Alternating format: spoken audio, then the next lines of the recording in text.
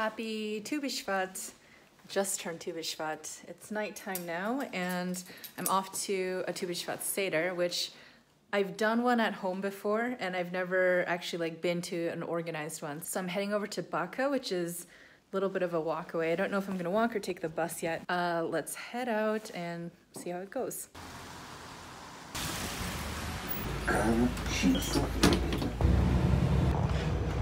So I decided to take the bus, even though I usually get pretty car sick, so hopefully I won't get sick on the way, but um, it's really cold and it was like a 40 minute walk. Anyway, I don't think this came out properly earlier, but I'm going to this particular Seder. I had, I was picking between two different ones and I chose this one because it's going to be led by Rabbi Breitowitz, who I really love. Sorry, the phone, the phone just fell, um, who I really love learning with. So Rabbi Breitowitz is leading the Seder. So I got off the bus like a stop early because I was a little bit too early and I was getting car sick, so I figured I would walk the rest of the way. Hope it's not awkward.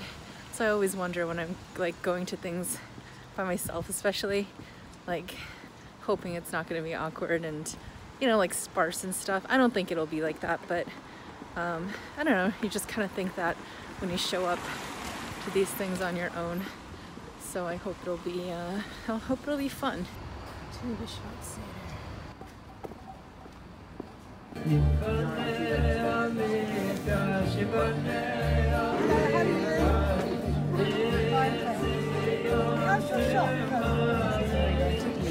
If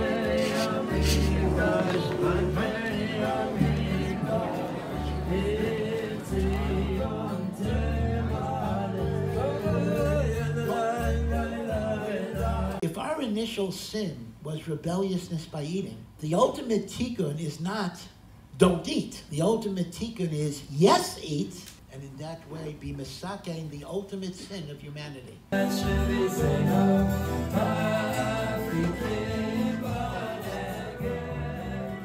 bench separately.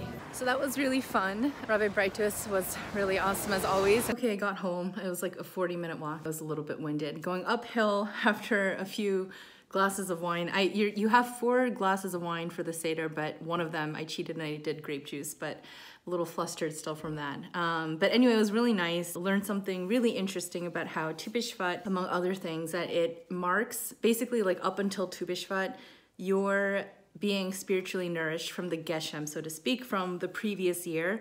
Basically, any brachas, like any sort of um, like divine blessings that you got from the previous year, you're still being nourished by that spiritually up until Tu B'Shvat.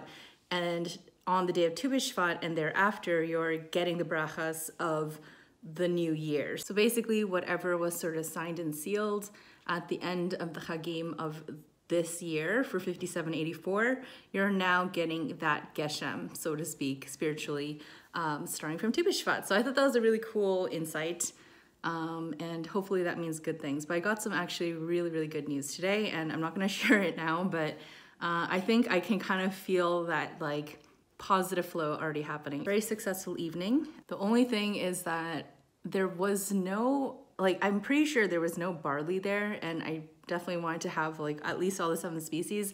My preference would have been to have like the full 30 fruit, um, more like Kabbalistic, like full blown Seder. I'll do that maybe next year, Bezrat Hashem, but um, this year it was just kind of like, it was less coordinated, I guess. Like everyone kind of just ate a little bit on their own at certain points and it was like not super duper synchronized, but um, yeah, I didn't see any barley. So I'm going to eat that tomorrow for breakfast and then I'll have my complete, um, at least for like the seven species, I'll have them covered.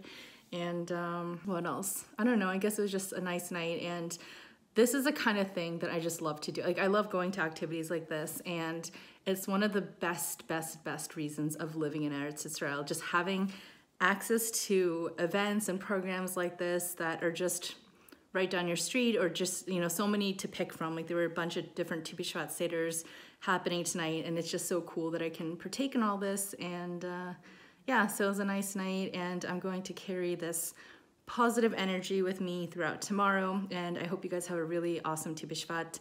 And I'll see you guys later. Shalom Aleichem.